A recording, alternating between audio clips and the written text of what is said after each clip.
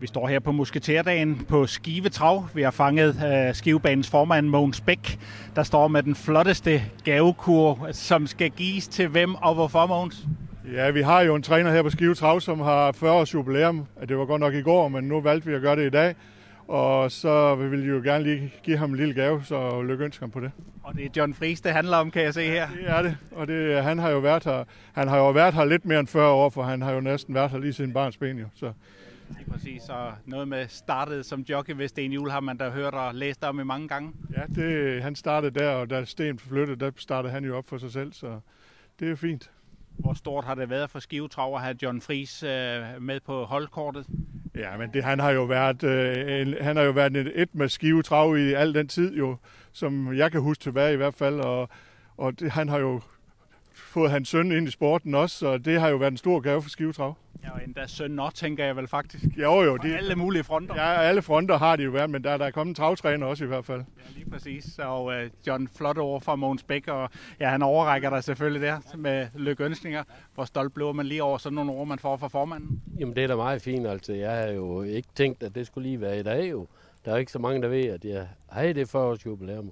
Så det er jo det er skønt.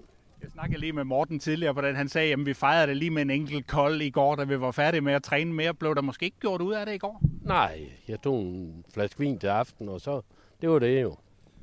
Hvad har måske, hvis du lige skal, vi kunne jo lave noget, der var meget længere på et tidspunkt, men de, de, de største oplevelser, du har haft, John, som uh, i dine 40 år som træner her på Skivetrav?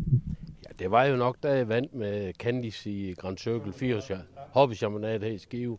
Det er nok det største løb, jeg har vundet på vores hjemmebane her. Så det har været ganske fint jo. Og er der nogen sådan ude, uh, udbanesejre, du kan, kan huske specielt tilbage på? Jamen, jeg har jo haft fine heste som Flikflak og Farole og de der. De fik nogle gode, store løb jo.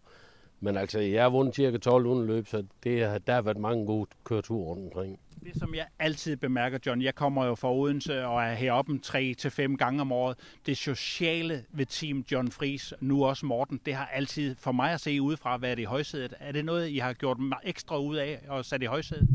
Det er jo nok, fordi at jeg kommer ud af en stor familie øh, selv jo.